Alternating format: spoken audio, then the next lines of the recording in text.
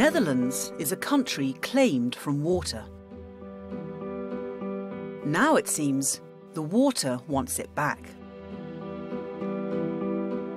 Rising sea levels and overflowing rivers are making this low lying nation increasingly vulnerable to serious floods. When there is no land, there is no country, there is no Netherlands. It's not a matter of saying, let's just abandon the country. We, we cannot do that. Will the Dutch be able to keep the water at bay, or must they now contemplate the previously unthinkable, allowing the water in? We shouldn't any longer fight against the water, but, but use it and, and give way to it.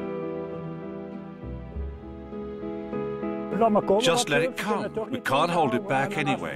And if it comes, we'll try to make the best of it.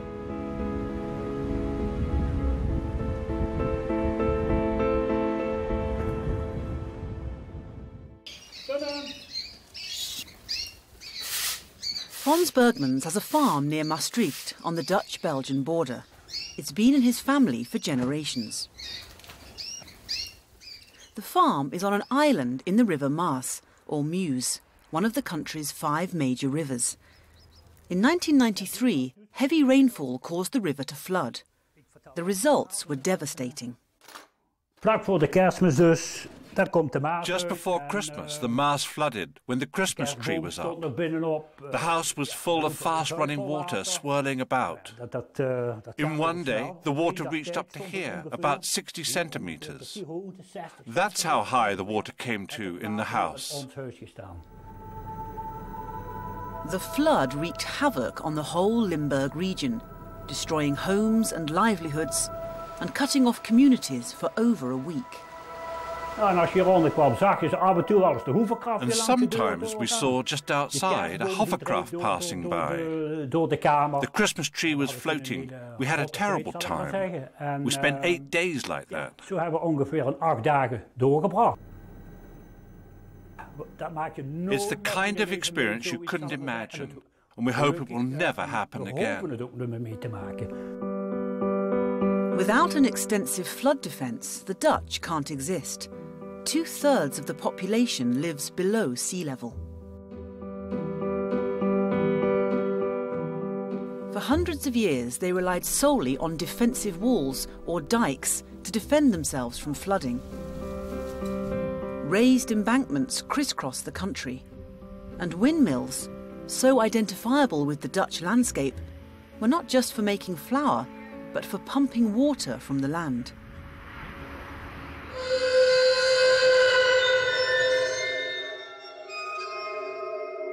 Then, in 1953, the North Sea flood caused destruction across northern Europe, especially in the Netherlands. Close to 2,000 people died. It was obvious that seawalls and dikes were not enough. Over the next three decades, the Dutch constructed huge barriers to protect their coastal cities. But 50 years later, the possible impacts of climate change have put the country's flood defences back under the spotlight. Scientist Louise Fresco has advised the Dutch government on preparing for the future. There are two main threats to the Netherlands. One is um, the rising sea level, and the other threat is that as a result of major discharge through the rivers due to high uh, rainfall in the future, we will have more water coming into the country. And the combination of rising sea level and water from the rivers, of course, poses a very uh, clear and present uh, threat. About 30% of the dikes and protections are not entirely up to the standards that we actually agreed on in the past. So we need to enhance the protection. And the best way to do that, of course, is to build upon the existing system and add additional protective measures where they are necessary. Sea levels are rising faster than predicted, as much as 1.3 metres by 2100. Rising sea levels combined with greater river flows poses the risk of flooding. that risk has now doubled. In a large scale flood, millions would have to be evacuated to higher ground. If it happened tomorrow, the Netherlands just couldn't cope. Our system is not up to standard to deal with very large quantities of water, especially if they come suddenly. The Dutch government's response is a national water plan, an overhaul of the country's defences costing billions of euros. The initiative is designed also to raise public awareness of the dangers of climate change. Dutch people are not afraid of water. We, we know we, we live below sea level. We do that for centuries.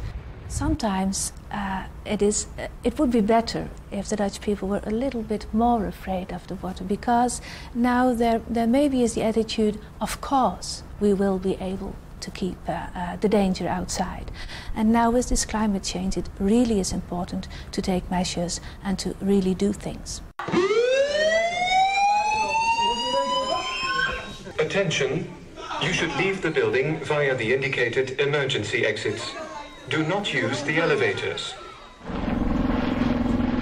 Last year, the government staged a five day mock evacuation to test the country's readiness for severe flooding. The results were telling. Had this been a real flood event, 4,000 people would have died.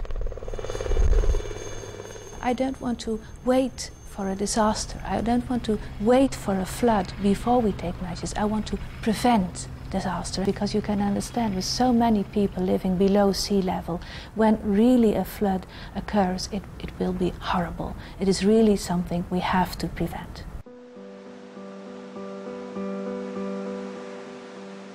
The Netherlands is in a constant battle to maintain its coastline. The tide creeps ever closer to seaside towns and villages. To strengthen beaches and dunes and protect communities, millions of cubic tons of sand are dredged from the seabed and redistributed near or on the shore. The waves will do the rest. We should take an ecological approach uh, try to use the forces of nature to protect the country where possible. The main area where this is really very feasible is in coastal protection, dragging up sand from the North Sea and have the currents actually deposit that sand to extend the coastline and broaden these beaches will be a, a major protection.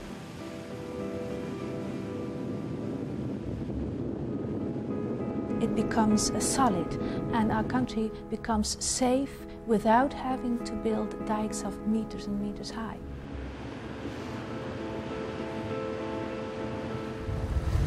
Now the Dutch are continually moving sand. Huge dredgers pick it up, then attach themselves to pipes, some five kilometres in length. At very high pressures, sand and water are blown through the pipes to the most vulnerable stretches of coastline.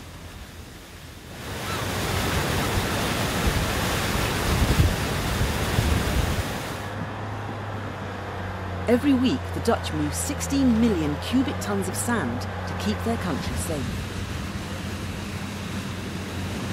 But an even more radical project is underway for the Netherlands rivers. We used to, to have these dikes to keep the water in, in place, but now we learned we have to make uh, places where the water can flow to in case of more water coming through the rivers.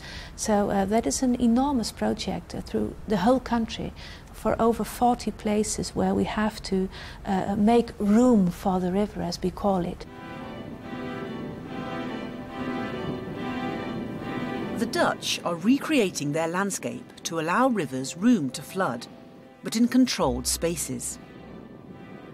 Large channels are dug out alongside rivers to create reservoirs holding overflow during seasons of heavy rainfall.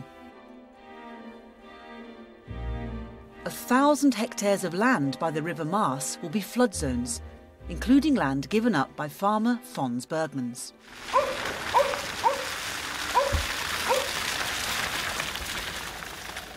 The work near the Bergmans farm is led by engineer Michel Habraken. He's working closely with Fons. In fact, his office is on the farm.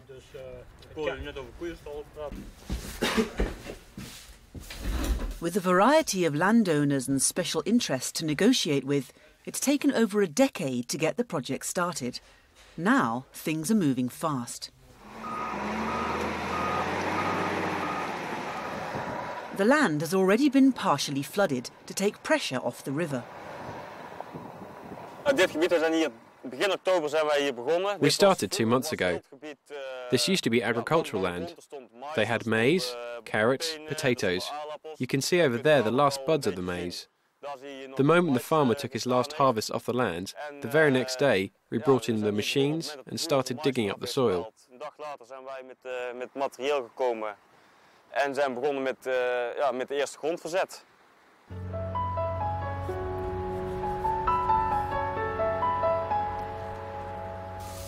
Fons Bergmans has given up 40 hectares of land to the riverworks, land farmed by his family since 1750.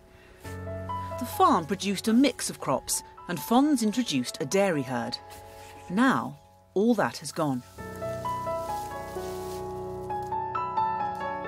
This used to be a cowshed. Ja, dat is. Dat is uh, yes, cows were my life. My wife always said Marika, Choika, and that one. They come first, and then it's me. That's what my wife used to say. When the Maas project started, where can you go? I lost 40 hectares of land. Where could I go with my animals? There was nowhere else. Een andere locatie worden niet. Niet allemaal. Want nu kan ik dat, ik heb ze twee jaar geleden. So two years ago I got rid of the last cows. How does it feel? Rotten, there's no other word for it. Rot.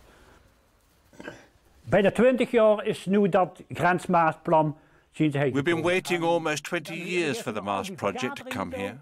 I went to all these community meetings, and you expect decisions to be made. You hear all kinds of plans, but now finally they've started carrying out the project just this year. is het ook zoiets, en dan zien ze ontgraven. En toen zag ik... They started digging, and I saw it's time to stop. The future's done, the business is finished. It's gone. Fons is the last Bergmans to farm the land. Now he wants to take a new direction. Maar begon hij zo eh, van dat toch gaan afbreken en vakantiewoningen maken. Dus we'll eh, try to convert this eh, into holiday homes and make something out of what we've got. Ja, met alles wat, wat hij nog steeds dan. Proberen er toch nog het ervan te maken dan. Misschien ook met, met uh, Maybe with tourists we'll make something out of it. Nou, dan kon de kinderen wel weer met weieren dan. Hij is misschien toch wel get. Isn't life what you make of it? Dat moest je doen in het leven, hè. But it may not be that easy. Het is niet zo dat mensen hier uh, straks een uh, recreatiegebied hebben. Het hoort gewoon een natuurgebied waar je dus niet This is not a recreational area. You can't swim here. It's only meant for nature conservation. Now it'll flood sooner than before. At the moment, the farmland floods two or three days a year. Soon it will flood more often. But that's the point. When the waters rise, there will be more room for the Maas River so that the areas behind won't get flooded. Wateroverlast hebben. Dus dit is iets meer bergruimte voor, uh, voor het Maaswater.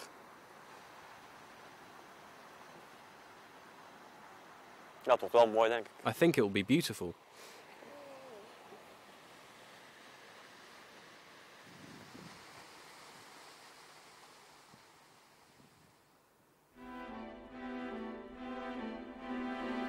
The Netherlands' relationship with water is complicated. With it comes prosperity, but also destruction. The Dutch have developed a new strategy to work with water rather than fight it.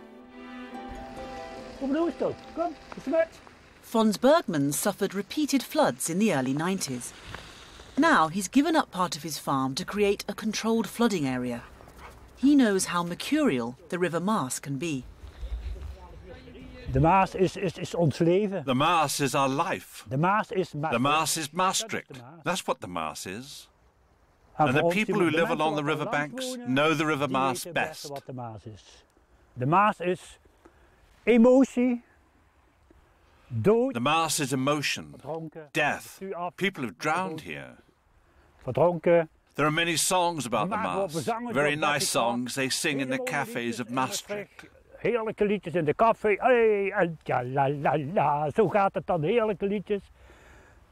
Vroeger, toen we klein waren, hier allemaal van die kleine... When I was little, we used to fish in the river. Lots of people learned to swim here as well. zwemmen vroeger, die hebben heel veel bij zwemmen.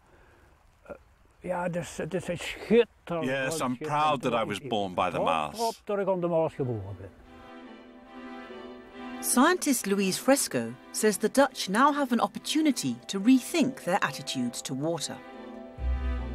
The Dutch have been very complacent, of course, um, in the last couple of decades about water because the problems actually were not visible in day to day life.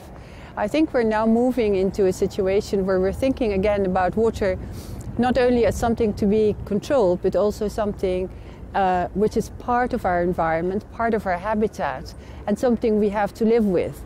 And uh, I think we, we are very optimistic about new creativity that is generated by thinking through how in the future we will live with water. Alexander Henny is an architect with a vision for the Netherlands' new water-filled landscape. He not only lives and works on a houseboat, he's one of the country's top designers of floating houses. In fact, his practice is called aquitecture, combining his love of architecture with his love of water. This is a scale model of a design I've made for a new type of floating house. There, there's a, a concrete foundation um, which floats, which is hard to understand for most people, but because it's hollow, it's uh, lighter actually than the water surrounding it, which keeps it floating.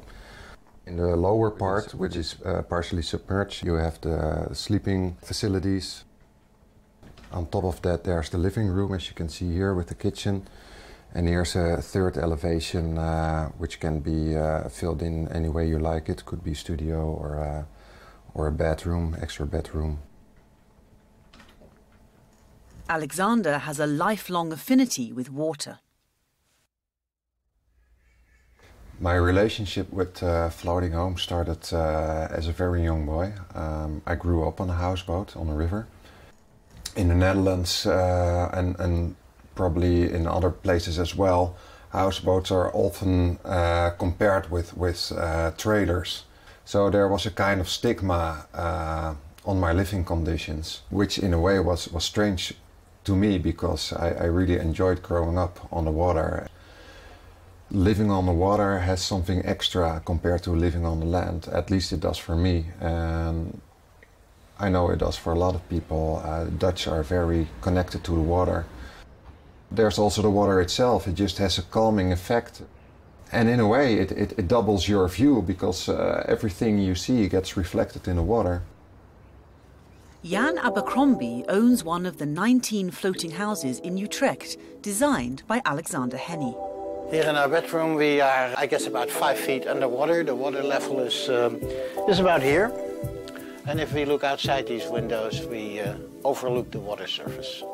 And it is, it's nice. It's, it's, of course, it is not attached to any other house. It stands alone. Um, it floats. So you feel when it, uh, when it is stormy, it, uh, it moves, sometimes quite a bit. If we go up to the first floor, we get to the roof terrace. It's a nice large roof terrace. We don't have a garden, but we have a lot of um, outside, as you can see.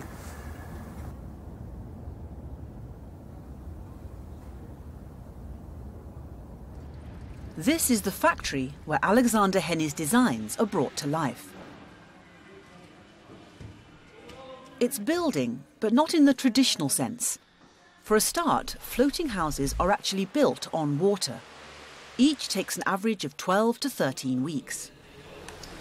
Yeah, what, you see lying here is, is, this side of the house, and it's uh, without the, the, the uh, upper level. So they're building from step to step. Uh, first, they start with the concrete uh, pontoon, and above that, they, they build a wooden uh, structure. In every department there are working specialists. So in this department the specialists are from the, the walls. And in the other departments There are only people working who are specialized in uh, making concrete hulls. Trade is brisk. There are a lot of potential clients. But there's a snag.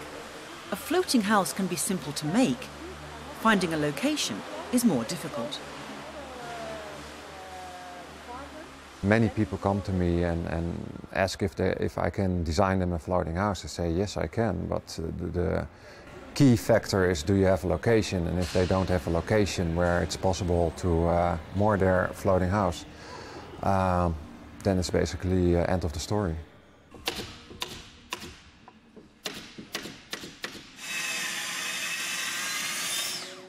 With more water on the Dutch map, floating homes sound like the perfect solution for urban planning.